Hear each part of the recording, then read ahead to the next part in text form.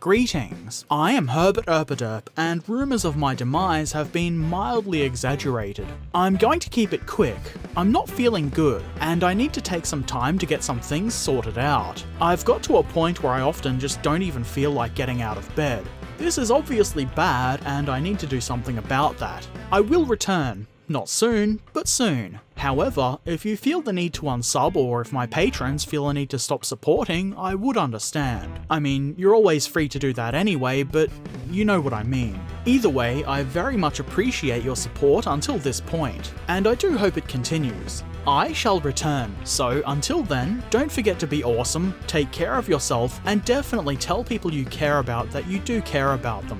One day you might not be able to. Thanks for watching. Farewell.